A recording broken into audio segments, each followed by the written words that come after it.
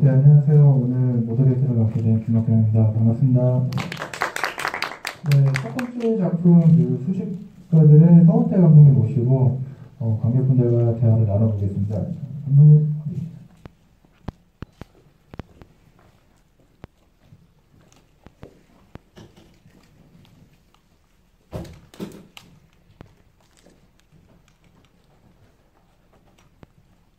네, 우선 관객분들한테 인사 한번 부탁드리겠습니다. 안녕하세요. 첫 번.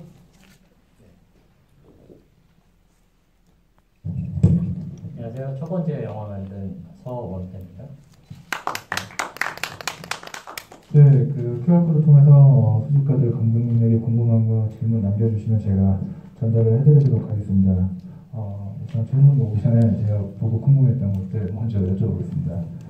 어, 영화 보고 영화 마지막에 어떤 나쁜 기억이 떠오르지 않았으면 좋겠다고 말을 하는데 그 인물이 가지는 그 엄마에 대한 기억이 좀 궁금하더라고요 보고 나서 네, 그, 이게 뭐그 서사의 앞선 뭐 전사의 가정 폭력이라든가 뭐, 뭐 이런 부분들에 대한 상상력이 있었던 것 같아요. 있으셨던 분이. 네. 이게 지금 어, 질문을 주셨는데 어, 수집가들의 이야기는 자전적인 이야기인가요? 어, 어, 글 쓰신 분의 어떤 그리고 아니면 남의 각이라는 장소를 통해 만들어진 이야기인가요? 라고 질문을 주셨어요. 추론할 수 있는 부분인 것 같은데 아마도 그런 부분 좀 반영된 것 같고요. 글 쓰셨던 분의 그 공간에 대한 얘기는 좀 분명히 있는 거고요. 이게 또 원래는 그 전시 프로젝트의 일부로서 제작된 영상이거든요. 그래서 남해각이라는 그 어, 여관, 아, 그, 그 숙박업소죠. 저기가 되게 저쪽 동네에서 유명한 데예요. 그래서 제주도에 막 신혼여행 가듯이 옛날에 그 신혼여행 갔던 그래서 뭐 옛날 그 국, 저기 그 대한 뉴스 같은 거 보면 박정희 대통령이 와갖고 막 이렇게 이렇게 뭐 하고 개교식하고 뭐 이런 그런 필름들이 남아 있는 그런 데인데 노량 대교 있는 데 있거든요. 네. 네, 그 그런 스팟인데 지금 이제 없어졌어요. 그래서 리모델링 되고 거기가 이제 전시 공간, 문화 공간이 되는데 리모델링 되기 전에 들어가서 이제 한 작업이고 실제로 두 명의 퍼포먼스를 했던 분은 좀 배우는 아니고 제 스텝이었는데 가서 이제 수집을 했죠. 그 물품들을 본인들이 이제 흥미로운 그 물품들을 수집하게 하고 리모델링 된 후에 그 공간에 지금 이 영상과 함께 그 수집된 물품들이 전시가 되고 있어요. 그리고 여기 나와 있는 그 저 그 서사는 여성 서사 같은 건데 제가 이제 그 글쓴 친구한테 그런 존재 조건을 줬어요. 그 이주한 여성의 관점에서 그 이후에 이제 서사를 좀 만들어 봤으면 좋겠다는 얘기를 했고 그거 그 시간들이 이제 좀 이제 한 스무 살 남짓된 여성 두 명이 이제 자매가 와서 어 이렇게 저 수집을 하는 그런 이야기로 이제 그 스크린상에서 보이지만 그게 이제 그 20년간의 어떤 이야기들이 내레이션 안에 이제 압축되어 있는 거죠. 그래서 좀 허구의 서사인데 아마도 그 글 썼던 친구의 어떤 자전적인 부분이 있지 않을까 생각을 했고 그 글을 읽으면서 그리고 저 수집된 물품들이 이제 그 실제 하는 공간에 실제 하는 사물들이 이제 전시되는 것과 저 픽션의 영상이 이제 같이 전시의 공간 됐을 때 사람들이 어떤 상상을 할까 생각할까 뭐 이런 호기심에서 시작하고 싶어요.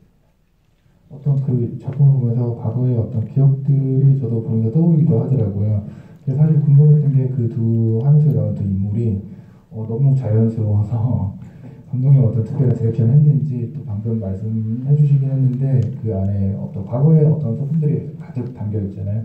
뭐 필름 것도 그렇고 스타시와 이것도 그렇고 어떤 이 작품을 위해서 어떻게 뭐 또 세팅을 또 추가로 하신 건지 어, 전혀 안 그랬어요. 그냥 가서 이렇게 뭐랄까 고고학자들처럼 발굴하듯이 지하서부터 지하는 어, 노래방이었어요. 그다음에 이제 식당 있고 1층에 커피숍 있고 그 위에는 이제 숙소고 숙소고 그다음에 옥상에 올라가니까 이제 어, 누군가 거주했던 옥탑방이 있었어요. 거기를 지나쳤던 사람들의 기억들이 뭐가 있을까? 뭐 이런 얘기들도 했고 작업하면서. 그다음에 또 저게 그 서사가 되게 그 되게 지역적 서사인데 그런 서사에 관심이 있는 프로젝트의 일환으로서 어, 진행했던 작품이어서 그 개인한테 굉장히 사전적인 좀 서사를 좀 만들었으면 좋겠다, 스토리를 만들었으면 좋겠다라는 어, 얘기들을 주고받아서 저 글쓴 친구같고. 어, 지금 뭐 질문들을 좀 남겨주시면 좋겠고요. 그 제가 궁금한 게 그 마지막에 영상이 이렇게 반대로 플레이 되잖아요. 어, 진짜 뭐 과거로 돌아가는 그런 뭐 의미가 아닐까 그런 생각이 드는데 감독님 어떤 다른 의도가 있으셨는지. 네. 어떤 대꾸를 만드는 양식적인 그런 표현이었던 것 같아요. 그게 이제 보통은 이렇게 그- 극이 그러니까 서사가 들어간 작업을 하게 되면 서사 자체에 초점이 맞춰지잖아요. 제가 이- 지금 영화 다섯 편 쭉 보면서 왜이 섹션에 이렇게 프로그래밍 됐을까를 좀 생각해봤어요. 프로그래머님의 이 저기 어떤 생각이 의도셨을까 생각해보니까 세 번째, 첫 번째, 두 번째, 세 번째까지 봤을 때는 그 원치 않는 임신을 한 여성의 서사인가?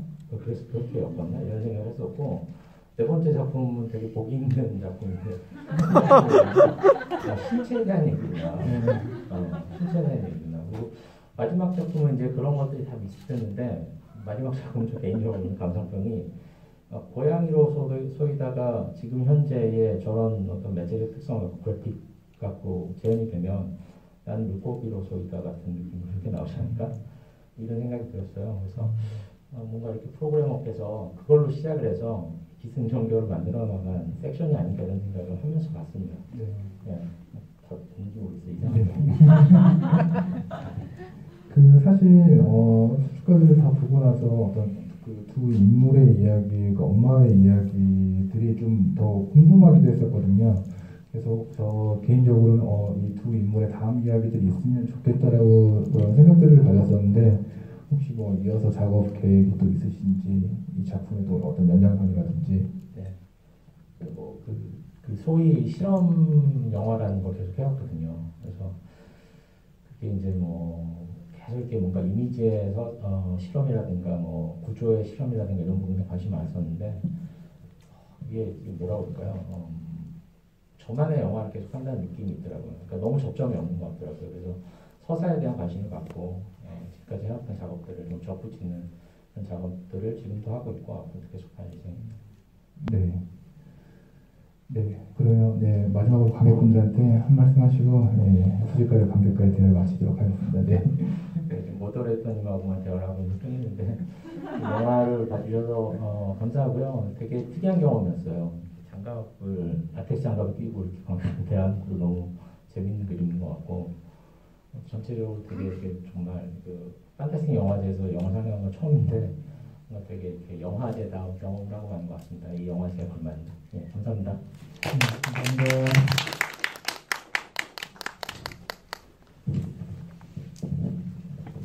네, 그 두 번째 그 작품 그 딩크족의 광민규 배우님 그리고 하정민 배우님, 오인혜 배우님 앞으로 한번 보실게요.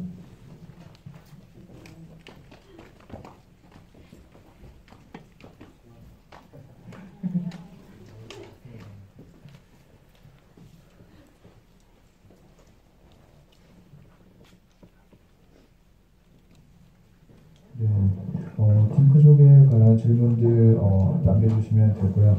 어, 영화 너무 잘 봤고요. 그 배우님들 그 진짜 인사 한번 부탁드리겠습니다. 네, 안녕하세요. 저 딩크 중에서 남편 역할을 맡은 배우 광민입니다. 만나서 반갑습니다. 네, 안녕하세요. 저는 딩크족에서 아내 역할 맡은 하정민입니다. 반갑습니다. 네, 안녕하세요. 어, 캐릭터 이름을 까먹었어요. 현숙이었나요? 네. 네, 현숙이 역할 맡은 오민입니다. 반갑습니다. 네, 그세분 오늘 영화 처음 보신 건가요? 혹시? 아, 실은 저는 링크를 한번 보고, 아, 네, 네. 극장에서는 또 처음입니다. 네, 우선 어, 질문들 남겨주시는 대로 제가 먼저 질문을 드리겠습니다. 어, 영화 보면서 그 남편이 그 기도하는 의식, 의식이 있던데 보면서 좀 웃겼는데 그게 원래 그런 의식이 있는 건지 이게 아니면 만든 건지 어, 실은 촬영된 분량은 좀 더 많아요. 이제 서로 기도를 하고, 막 기도의 서툰, 그러나 뭔가를 바라고 기도를 하는 그 아이러니한 사, 상황을 되게 코미디적으로 감독님이 연출을 하시려고 했던 것 같은데, 그 중에서 제일 요상하게 생긴 물건으로 뭔가, 어, 의식을 하는 것 같은 그 장면만 이 영화에서는 나오게 되었는데 그 물건이 저도 그날 당일날 이제 어떻게 사용하는지에 대해서 설명을 들었었거든요. 정민 배우랑 같이. 네. 제가 강명기 배우님께 여쭤보고 싶은데 어, 오늘 감독님이 안 오셨 아니요 자리에 계신데요. 저희 배우들이 참석률이 높아서 아, 네. 네. 네. 저희가 집에 모두 참석하게 됐어요. 강명기 배우님께 여쭤보고 싶은 게 어, 어, 배우님이 생각하는 어떤 딩크족은 어떤지 그리고 실제 아직 결혼하셨는데 어, 이번 역할 준비할 때 특별히 뭐 고민했던 지점이나 좀 더 신경을 썼던 지점들이 뭐가 있는지 좀 궁금하더라고요. 그 시나리오를 처음 받았을 때 어, 굉장히 매력적인 지점들이 있었어요. 그 그래서 느껴지는 서사나 어, 또 제가 여태까지 맡아봤던 캐릭터보다는 좀 나이대가 있는 어, 결혼을 한 캐릭터에서 어, 시나리오에 대해서 되게 매력을 느꼈던 것 같아요. 또 딩크족이라는 그 소재가 어, 지금 현대에 살고 있는 젊은, 젊은 부부들의 어떠한 층들을 대변하는 역할이고 그런, 그런 영화로 만들어진 거라고 생각해서 되게 매력을 느꼈고요. 어, 이번 영화를 하면서 생각보다 좀 음, 어렵고 힘들었던 점들이 있었던 것 같아요. 뭐 아무래도 어, 뭔가를 할 수 있는 뭔가 어, 능동적인 인물이 아니, 아니기도 하고 그러면서 속 안에서는 뭔가 어, 계속 고민을 가지고 가야 되는 지점들이었고 그 부분이 아내의 건강과 연관된 있는 지점이라서 저는 촬영하는 내내 그리고 시나리오 그 테이블 작업할 때도 어, 그런 점들 때문에 좀 부딪히는 부분들이 좀 있었어요. 근데 어, 그럼에도 불구하고 뭐 본인이 이제 능동적으로 나서지 못하는 인물 그런 무기력한 인물을 네, 연기하는 데 있어서 조금 네, 어려움도 있고 좀 영화를 보고 나서도 좀 어, 약간 좀 네, 생각이 많아지는 것 같아요. 네, 마음이 많이 무거웠어요. 네.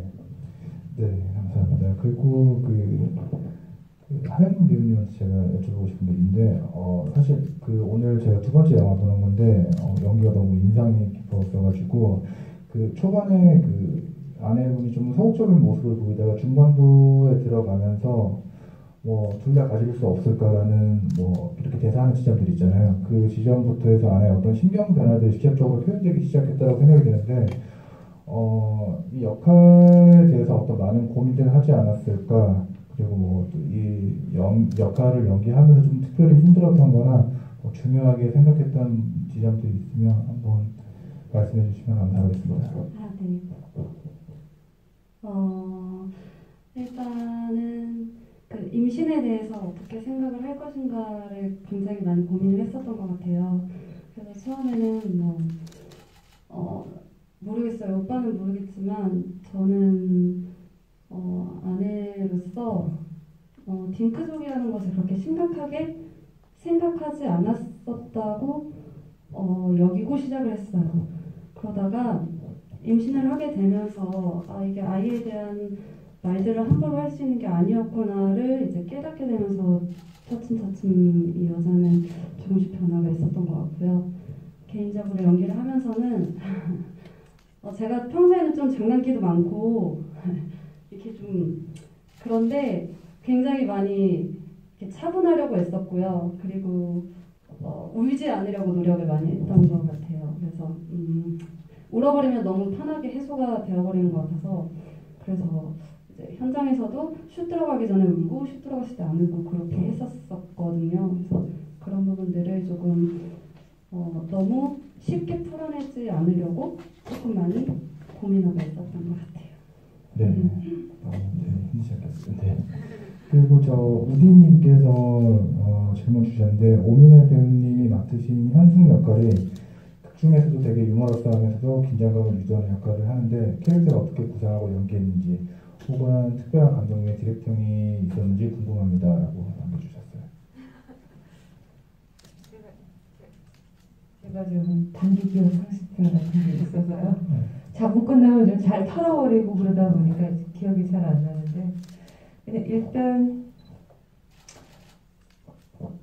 영업 영업을 하는 사람이다라는 것 그리고 그 영업을 통해서 굉장히 성과를 많이 버는 좀 그런 느낌의 사람으로 보여지기를 예, 바랬던 것 같아요. 그래서 의상도 굉장히 화려했고 오늘 좀 이렇게 응원하는 차원에서 그때 촬영했던 의상을 좀 입고 나와봤는데요. 음, 제가 예전에는 이렇게 그 카드 영어 알바를 잠깐 한 적이 있어서 그때 경험을 좀 살려서 해왔던 것 같아요. 영업하는 사람의 입장이 어떤 건지. 근데 저 보면서 너무 창피해갖고요. 너무 재밌게 잘 봤습니다. 제가 개인적으로 궁금했던 게 그 배우님께서 맡으신 역할 실제 원래 존재하는 직업인가요? 그럼요. 아. 아니 감독님께서 얘기해 주셔야 되는데 저는 그렇게 믿고 어, 했어요. 음, 네. 실질적으로 영업하시는 분들, 네, 저 그- 저는 그렇게 알고 있거든요. 네. 그리고 제가 이게 네, 감독님한테 드려야 되는데 어, 감독님 계- 감독님이 계시지만 어, 마지막에 그 갇혀 있는 아이들이 밖으로 이렇게 나와서 창문을 여는 장면이 있잖아요.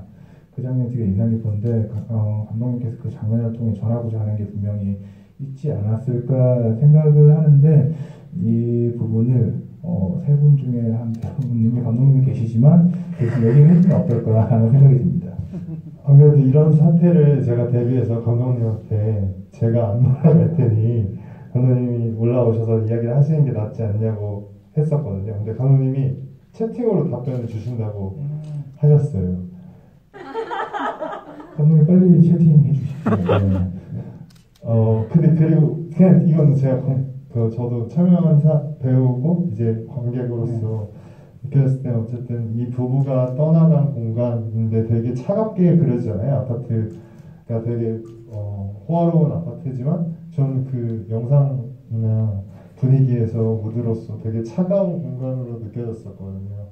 어, 아내의 표정도 그렇고 아, 남편이 그 앞- 집을 둘러보는 그런 느낌도 그랬고. 근데 아직도 그 예전에 살던 집에는 온기가 남아 있었거든요 제가 봤었을 때는. 근데 그 거기에 살고 있는 그 판타지적 인물이죠 아이들은 판타지적 인물인데 그 온기 있는 집에서 남아 있는 그 아이들과 공간을 대비시켜서 보여줌으로써 뭔가 저는 그렇게 느꼈어요 이렇게 이 부부가 과연 살려고 했던 아파트라는 공간이 좋은 건가 약간 이런 네, 그렇게 저는 느꼈던 것 같아요. 네.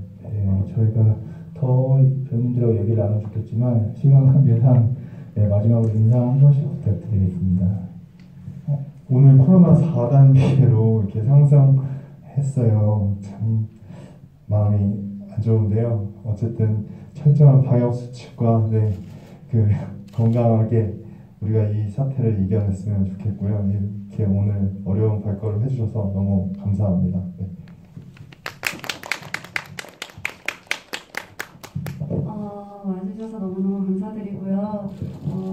지금 저희가 겪고 있는 이 시간들을 몸도 마음도 건강하게 잘 지내, 지나가시길 어, 제가 마음속으로 응원하고 있겠습니다. 가시는 길 조심히 들어가세요. 감사합니다. 네, 지금 코로나 때문에 많이 긴장들 되어 있는 상태일 텐데도 불구하고 이렇게 함께 자리할 수 있다는 여러분들이 갖고 계시는 그 영화에 대한 사랑과 열정 너무 멋있다고 생각합니다. 네, 어, 우리 부천 영화제 아주 잘 마무리되기를 바라면서 함께 해주셔서 너무 즐거웠습니다. 감사합니다. 네, 그리고 마지막으로 봤던 작품 지도박과 수직 방향으로 어, 정혜정 감독님이랑 그 안가영 시각 디자이너님 모시고 대화 나눠보겠습니다. 생각하고 계시던 질문들 있으시면 빨리 네, 미리미리 적어주시면 좋을 것 같아요.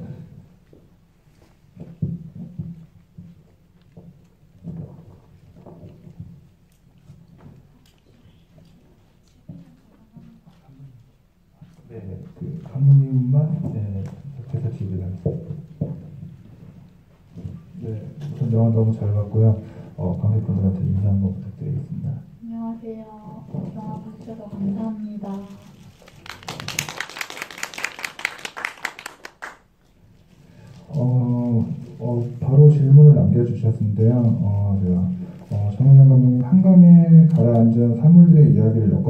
방식이 어, 현실을 환상의 세계와 연결하는 상상력이 어우러져 독특했고 인상적인 영화였습니다. 이 영화는 우주에서 바다로 관객을 여행시키는 v, VR 영화와 같은 카메라 워크도 독특했는데 1인칭의 위치에 놓인 관객과 과연 어떤 입장일까요? 관객은 어떤 입장일까요? 저는 처음에 세포였던 자신이 한강을 거쳐 다시 태어나는 기분을 느꼈습니다. 아, 이거 감상평이네요. 네. 그리고 제가 그럼 먼저 궁금한 거 보고 나서 궁- 어, 저는 이 작품 오늘 세 번째 건데 처음에 이걸 보고 나서 제일 궁금했던 게 어, 이 이야기의 시작은 어디였을까라는 생각이 들었었거든요. 이 이야기 시작이 어- 어디서부터 이렇게 이 이야기를 떠올려서 작업을 하게 된 건지. 네. 어, 저는 한강에 관심이 처음에 있었고 사실 제가 서울에서 태어나고 자란 사람인데 한강에 대한 아무런 경험이나 기억이 없다는 거를 어느 날 이상하다고 생각을 했어요.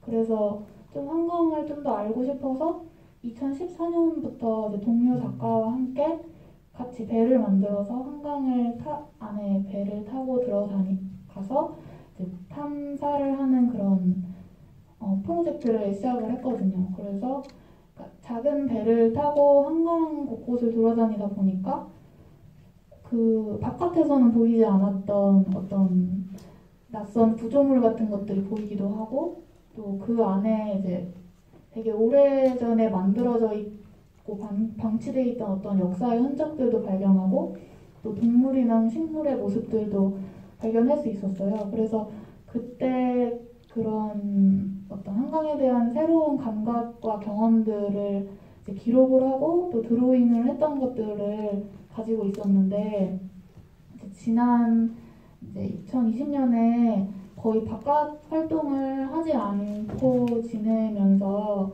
그 전에 그렸던 드로잉이나 기록들을 좀 꺼내서 보다가 그러면서 동시에 이제 집에서만 지내고 있다 보니까 3D 공부를 시작하게 돼가지고 3D 애니메이션 공부를 하면서 그냥 내가 어 그런 생각했던 이미지들과 기록물들을 모델링 연습하는 겸 해서 만들어 보기 시작했고 그거를 이제 물속이라는 또 한강 물속 밑이라는 가상의 그런 공간에 펼쳐놓고 가이드가 마치 이렇게 안내를 하듯이 이제 그 한강에 대한 이야기를 들려주는 그런 내용을 생각 해서 제작을 하게 됐어요. 어, 여기 질문 우디님께서 질문 주셨는데 사람의 얼굴을 닮은 물고기가 이야기가 어, 물고기 이야기가 나왔던 것 같은데 실제 이야기인지 가상의 이야기인지 궁금합니다. 그리고 가상의 이야기라면 어떤 의미를 담고 있는지 궁금합니다라고 질문 주셨어요. 혹시 어떤 사람의 얼굴을 한 예, 사람- 물고기의 이야기요? 네네 사람의 어, 사람의 얼굴을 닮은 물고기 이야기가 나왔던 것 같은데 실제 이야기인 건지 그 어, 어, 제가 그 영화 안에서 전달했던 이야기들은 기본적으로 사실에 근거한 이야기들이 많이 있고 물고기의 이야기는 제가 받았던 인상들을 어떤 문장으로 풀어서 혹은 약간 시적으로 표현을 했던 거거든요. 사실은 물고기 얼굴이 제 얼굴인데 그거를 그냥 한번 제 얼굴을 한번 입혀봤어요 물고기. 네, 그래서 그냥 여기저기 이렇게 발견 영화 중간 중간에 약간 등장했다가 또 사라지고 그냥 그런 부유하는 존재처럼 네, 그냥 그렇게 넣어. 네, 제가 또 개인적으로 궁금했던 건데 사람의 얼굴에 물고기들이 나이면서 나와 다른 것, 내가 아닌 것 이런 대사들 말을 하는데 어, 이 대사의 어떤 감독님 생각하는 의미나 해석을 좀 해주시면 좋을 것 같아요.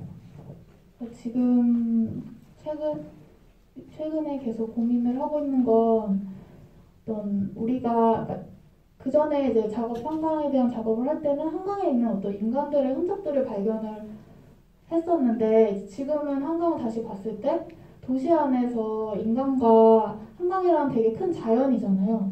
자연과의 관계를 생각해 보게 되더라고요. 그래서 지금 이렇게 코로나 같은 그런 인수공통 감염, 감염병이 이렇게 창궐 하고 있는 시기라서 더 그런 것 같은데 그동안 우리가 어, 자연을 대상화하고 타자화 시켜서 어떤 이러한 결과들이 지금 우리가 마주하고 있는 것 같고 그래서 어떤 그 제가 말했던 그 물고기가 말했던 것도 그 우리가 계속 나와 타자를 분리하고 대상화시킨 것들을 어떻게 좀 문장으로 약간 시적으로 엮어보고자 했던 그런 대사였던 것 같아요. 네, 그럼 마지막 여기 질문 한 번만 받고 네, 질문 마치도록. 마지막에 집으로 가자고 하고 밝아지는데 물속이랑 무리를 구분하여 작업하셨나요? 이렇게 무리를 구분하여 작업하셨나요? 물속이랑 무리를. 네. 어, 이제 저는 저의 의도는 물 위에 있다가 이제 물 속으로 들어가잖아요. 근데 마지막에서 약간 터널 같은 곳을 지나가면서 이렇게 밝아지면서 끝나는데 저는 이제 영화 사실 미술 베이스로 작업을 하는 사람이라서 영화관에서 이렇게 작업을 상영을 해본 적이 없어요. 그래서 미술관 가면은 그냥 영상을 계속 루핑을 하거든요. 보통 작, 작업을 상영을 할 때 그러면 마지막 장면이 첫 장면이랑 붙고, 붙게 되거든요. 그래서 저는 약간 첫 그 터널을 지나고 나왔을 때 다시 물 위에 있는 것 같은 그런 느낌을 좀 주고 싶기도 해서 그렇게 약간 연출을 했던 것 같아요.